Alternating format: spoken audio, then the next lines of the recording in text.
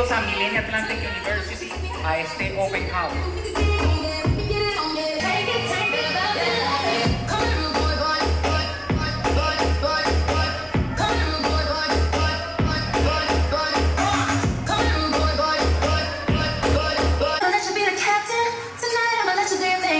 Uso la música como terapia.